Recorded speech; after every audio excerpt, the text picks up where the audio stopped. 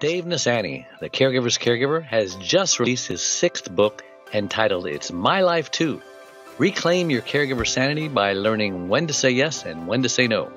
It was specifically written for caregivers who know they should be putting their needs first, but just don't know how.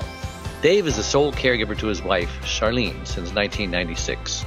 He knows firsthand what caregivers are going through because he is one and he now speaks all across the country offering caregivers his incredible caregiver support package. Even the airlines tell us that in the event of an emergency, to put your oxygen mask on first before you help your child with their mask.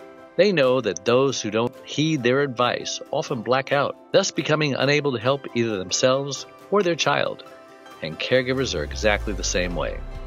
It's my life too.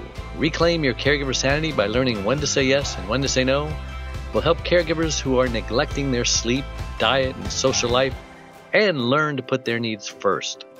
Pick up your copy today or buy one for your special caregiver. On sale everywhere and at caregiverscaregiver.com.